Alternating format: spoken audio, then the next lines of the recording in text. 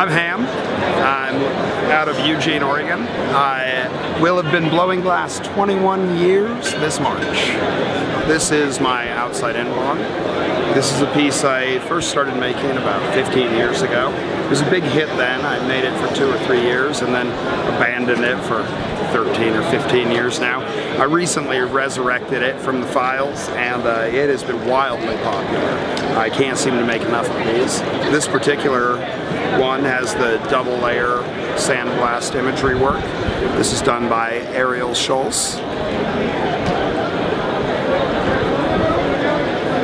This is the shortest of the outside in bongs I've ever made, and this will continue to be the shortest, as I paid quite a high price for the short length of this thing, and I don't intend to pay this price on the rest. Here is the outside Class, because we hope everybody's having a fantastic time.